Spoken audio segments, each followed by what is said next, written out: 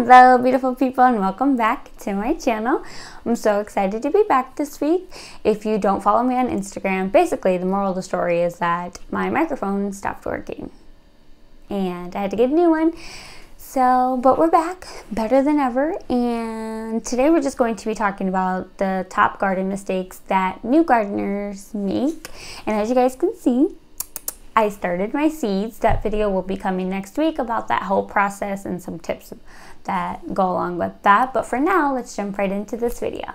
So the first mistake is one that I am guilty of and I do it every single freaking year and it's when your eyes are bigger than your garden. so when the nurseries start putting out all the garden starts and the seed companies start sending out their catalogs, it's so excited to look at all the seeds and try to, you know, plant as many new things as possible.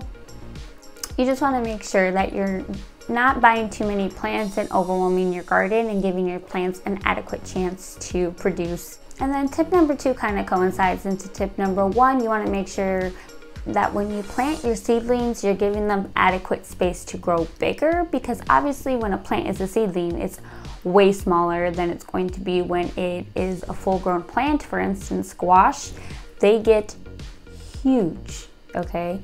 Huge. And I know it may look a little depressing when you see like a little starter plant this big in your garden, but just keep in mind the vision for the future and that your plant is gonna get so much bigger. So just remember to keep adequate space in your garden between your seedlings.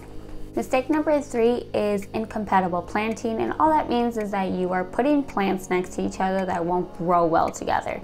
So for instance, tomatoes and bush beans, you can't plant well together because when the tomatoes grow up, they will block the sun from the bush beans and vice versa.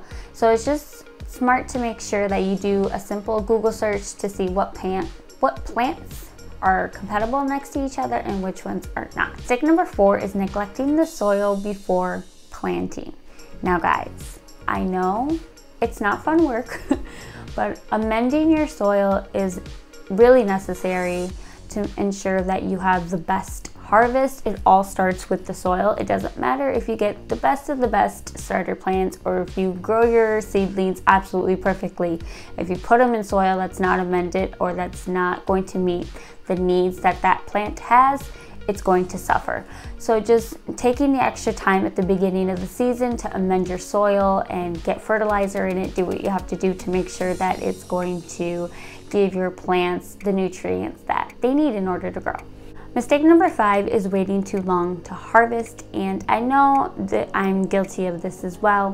But when your plants are at the point where they are producing fruit, you want to check them every single day for harvest because if you don't, it's very easy for your plants to overgrow. I had a Persian cucumber plant last year in my garden and I thought I was on top of it and every single time I would find one that was overgrown or way too big and it's just very easy for plants to be able to be harvested one day and then the next day be overly ripe. So just make sure that you're staying on top of your harvesting. Number six is disorganized seeds. Now it's very tempting to buy all the seeds that you see online or in the stores and just have them thrown somewhere instead of them being organized. But when you organize your seeds, and I'm actually gonna have a video coming out on that of how I keep my seeds organized, and it's much easier to see what you do have versus over, over ordering seeds that you don't even need. Mistake number seven is one that I am guilty of, and it's ignoring weeds. And it's probably the worst part of gardening, in my opinion. I hate weeding. I hate going through and pulling out the weeds what seems like every freaking day. It's necessary for your garden to stay in order because it's really easy for weeds to quickly get out of control and then it's a lot more work to pull them back and tame your garden back down than if you just stay on top of them to begin with. Mistake number eight is not growing for your climate or your zone. I am in zone 6A and no matter how hard I try, I will not be able to produce pineapples or bananas. That's just, I don't have the climate for it. It's just not gonna happen. So just make sure that when you're selecting seeds or plants for your garden, they're ones that are gonna be compatible in your grow zone. Number nine is planting what you won't eat. Now, I am guilty of this, however, I am changing my ways. I absolutely demise tomatoes, but I grow them every single year. every single year in my garden. And that's because my husband likes them and my sons like them. So I grow them every single year. And I actually only like tomatoes that I grow I'm pretty sure it's a mental thing. But just make sure that when you're planting things in your garden, you're not having something take up space that you're not even gonna end up eating because that would just be a waste of your time and your garden space. Mistake number 10 is transplanting outside too early. There's nothing worse when you're growing your seedlings or you buy your starter plants and you putting them outside in the ground and them either being stunted by the cold or being wiped out by a late frost. Just make sure that your temperature is at least steadily in the 50 degree area before you do any transplanting of either starter plants or your seedlings outdoors. Number 11 is watering. Now it's very easy to overwater or underwater your plants and it's basically all about reading your plants. There are certain plants like some squashes and peppers that don't like being watered constantly. They, it's easy for them to get diseases and they don't like it. So just make sure you are studying up on what plants need what kind of watering and just making sure that you're reading your plant in general to make sure that you're giving it the water that it needs. Mistake number 12 is skipping flowers. And I know I did this my first year with my garden. I wasn't really thinking about flowers. One, because I can grow anything that is green or produces fruit. But when it comes to flowers, we're not usually on the same page. I'm still working on it, you know? But it's very important for you to have flowers because they help bring pollinators.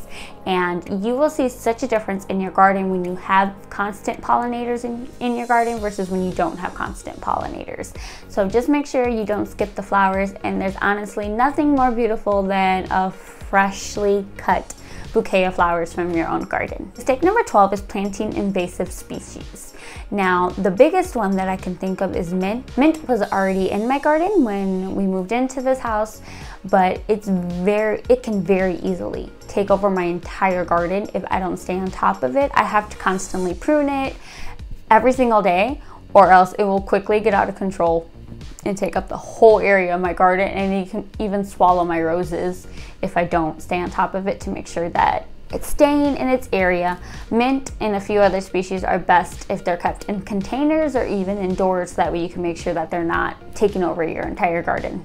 Mistake number 14 is giving your plants the incorrect amount of sun. Now usually it tends to be under the amount of sun that your plants actually need, but there are some plants that you they can't have too much sun.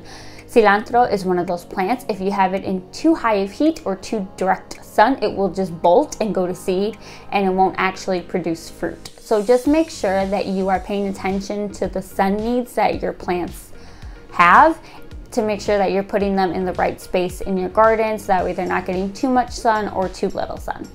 Mistake number 15 is one that I am guilty of entirely, and that is procrastinating on the trellis.